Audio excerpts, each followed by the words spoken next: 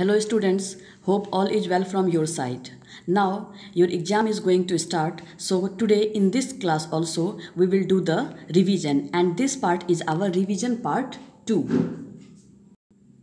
Now see, as we are going to ask you only MCQ question, so for revision, we will practice only MCQ questions. Under this, our first question is, every rational number is. You have to think, every rational number is what? A natural number, an integer, a real number, a whole number. So we can say that every rational number is what? A real number. Why? Because we know that rational and irrational numbers taken together are known as real number. Therefore, every real number is either a rational number or an irrational number.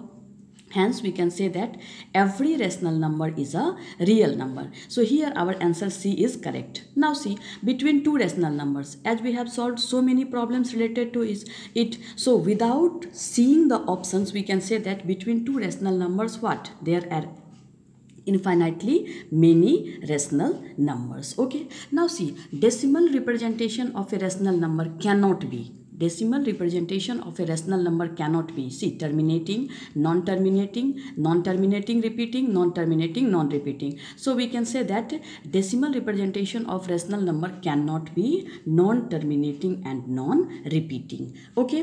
Why? The, the decimal representation of rational numbers cannot be non-terminating and non-repeating. Now see the product of any two irrational number just you think. The product of any two irrational number is is always an irrational number no. Always a rational number no. Always an integer no. Sometimes rational sometimes irrational. Is that okay? Just you take some examples. And you can say that it becomes sometimes rational and sometimes irrational. Our next question is the decimal expansion of the number root 2 is. The decimal expansion of the number root 2 is. So that is what? A finite decimal value is given non-terminating recurring and this one is non-terminating non-recurring. We know that the value of root t is what? 1.41 so what? We have to see that option b is correct. Which of the following is irrational? See here root 4 by 9 that is 2 by 3 root 12 by root 3 so this also get cancelled. Root 7 root 81 so now see here. We can say that root 7 is a what? Root uh, 7 is an irrational number Okay, so we can say that answer C is correct. Which of the following is irrational? Say here. So 0 0.14, 0 0.1416, 0. Point, that bar is given there. Itna. A number is irrational if and only if its decimal representation its decimal representation is non-representing non recurring. So we can say that answer D is the correct answer because it is the decimal expression which is non-terminating and non-recurring. A rational number between root 2 and root 3 you can calculate root 2 and uh, root 3.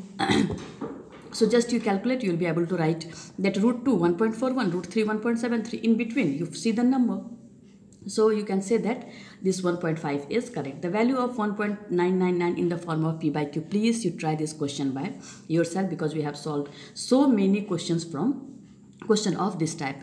This one is also very simple. 2 root 3 plus root 3 is equal to C. Check root 3 you take common. So 2 plus 1 3 root 3. So we can say that answer C is correct. Now root 10 into root 15 is equal to, please you check.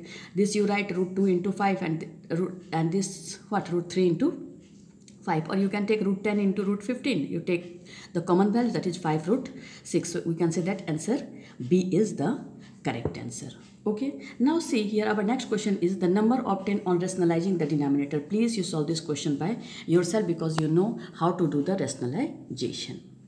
Same thing 1 by root 9 minus root 8 is equal to just you multiply by root 9 plus root 8 so root 9 plus uh, root 8 by 9 minus 8 1 so just you try to solve this type of question by yourself. After rationalizing the denominator of this one, we get the denominator as. Please you solve and write.